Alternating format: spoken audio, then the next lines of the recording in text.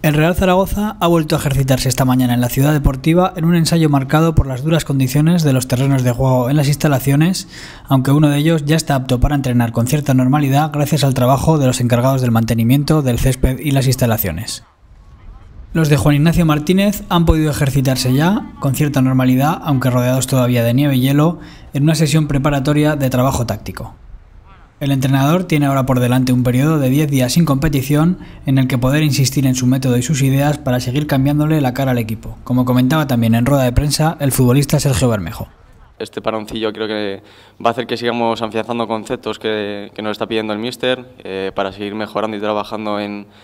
todo lo que nos está pidiendo, eh, mejorar eh, aquellas cosillas que nos están faltando y,